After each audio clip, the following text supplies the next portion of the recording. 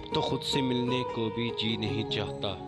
बहुत बुरे हैं। कुछ अपनों से सुना है।